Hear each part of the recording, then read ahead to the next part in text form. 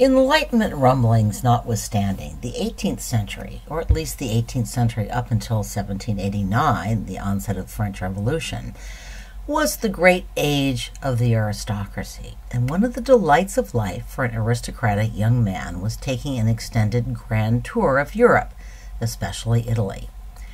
As these wealthy young Europeans flooded into Italy, Italy they, like all tourists, hunted for souvenirs to bring home. This busy and jumbled painting was commissioned by a young French nobleman who is shown circled in red, looking at a guidebook, maybe with some of his traveling buddies.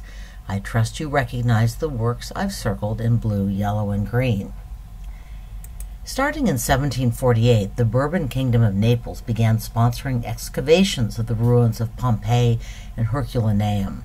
The amazing archaeological finds at these sites in turn sparked a revival of interest in classical art, architecture, history, and literature, not unlike the classical revival of the Renaissance.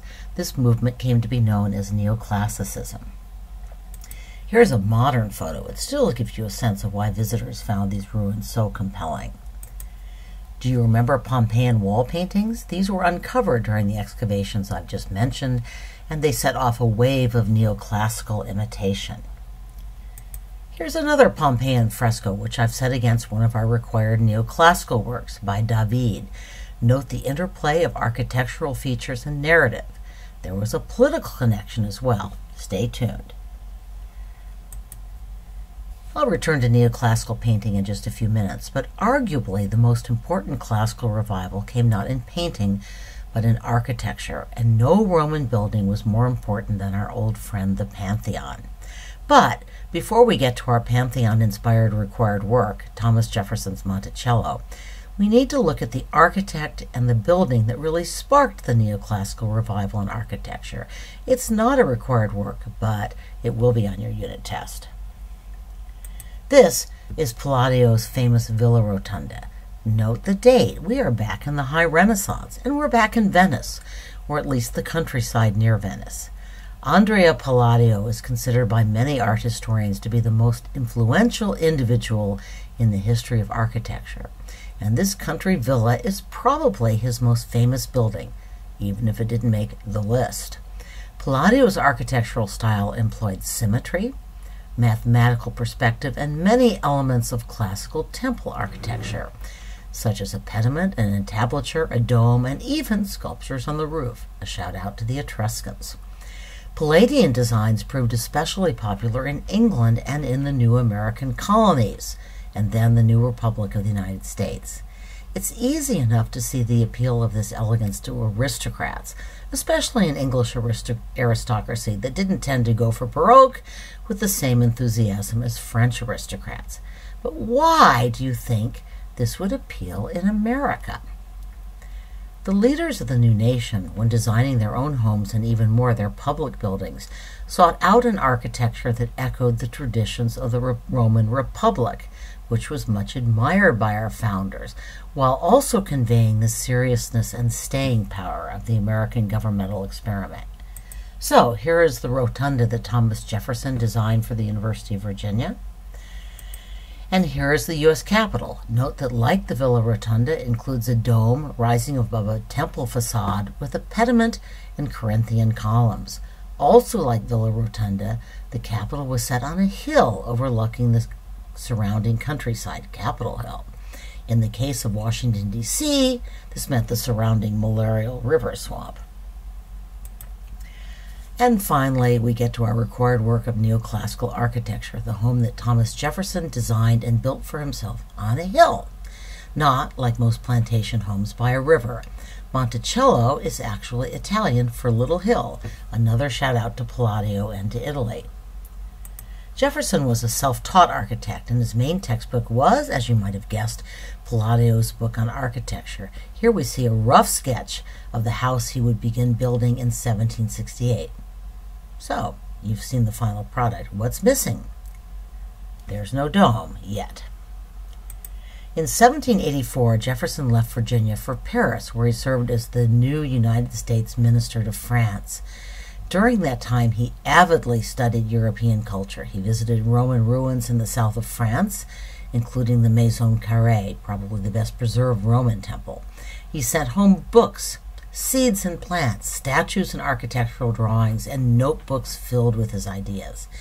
When Jefferson returned to the United States in 1789, he embarked on a major remodeling that included a dome shaped room on the third floor, skylights, and round windows. The house was finally completed in 1809. By the way, building it pretty much bankrupted Jefferson, and when Jefferson died, his daughter was forced to sell the house to pay his debts. Here's the required College Board image of the floor plan. And here on the left is, I think, a more helpful labeled version. I've stuck the Villa Rotunda plan in the bottom right by way of comparison. Note that Jefferson's building is not designed around a circular room, and it is not perfectly symmetrical. Still, like the Villa Rotunda, Monticello's plan is geometric, rational, and orderly in the neoclassical style. Neoclassical sculpture likewise harkened back to classical times, and especially the tradition of the veristic Roman portrait bust. Remember, those were designed to portray subjects as embodiments of age, wisdom, and public virtue, even to the point of exaggerating their age. Do you remember the required Roman work on the upper right? The leading neoclassical portrait sculptor was the Frenchman Jean Antoine Houdon. So it's not surprising that when the Virginia legislature wanted to, legislature wanted to commission a sculpture of George Washington for their state capital, they turned to Houdon. In fact, it was Jefferson, again returned from France, who recommended Houdon and who commissioned the work. The Khan Academy homework covered this work really well, but I've noted a few important points on this slide. Fasces got a bad name when Mussolini and then Hitler adopted them as a symbol of fascism, but in fact they stood for the idea that even thin rods, bound together, became strong in unity an appropriate image for the 13 new states, as well as the citizens of the Roman Republic. Excuse me, the 13 states of the new republic, as well as the citizens of the Roman Republic. George Washington quite consciously modeled himself on the Roman general Cincinnatus, who, after winning a major victory for Rome, refused to stay on as a dictator. Instead, he returned home to his farm. I just note that Cincinnatus also opposed the efforts to give more political power to plebeians or non noble Romans, so maybe he wasn't the ideal democratic model. Still, it was a good story, and it has a fascinating basis in fact. I used to tell my AP government students that one of the most important events in U.S. history was the Newburgh Conspiracy. And generally, they would stare at me blankly, since they hadn't usually studied the Newburgh Conspiracy in AP U.S. history, and there's a good reason they didn't. It's a conspiracy that totally flopped. During the unruly days of the Articles of Confederation, a group of Army officers approached George Washington and asked him to accept the role of dictator. Washington refused. Instead, he invited a few leading citizens to a dinner party at his home, Mount Vernon, and he threw out the suggestion that maybe the U.S. needed a new and better constitution. Washington went on to preside over the Constitutional Convention and, of course, to serve as the United States' first president. Sometimes the most important events in history are events that didn't happen. I think we can all agree that Washington was wise to ask Houdon to sculpt him in contemporary dress, not as Houdon originally planned in classical dress. Congress commissioned this appalling sculpture for the centennial of Washington's birth. It's based on a sculpture of Zeus, and essentially it portrays the we now know aging pot-bellied Washington, as a buff Greek god. The statue proved enormously unpopular, which shows that Americans do sometimes display good taste. But you could all identify this as neoclassical as well as truly tasteless, right? Back at last to neoclassical painting. You've already seen this painting, David's Death of Socrates, and again, it's not a required work. In my last lecture, I talked about how neoclassical painting reflected the era's fascination with ancient Greece and even more with ancient Rome. Note, too, that neoclassical paintings represented a return to an emphasis on clear lines as opposed to the blurred contours and exuberant colors of Baroque painters like Rubens. But above all neoclassical art was famous for its moral and political content.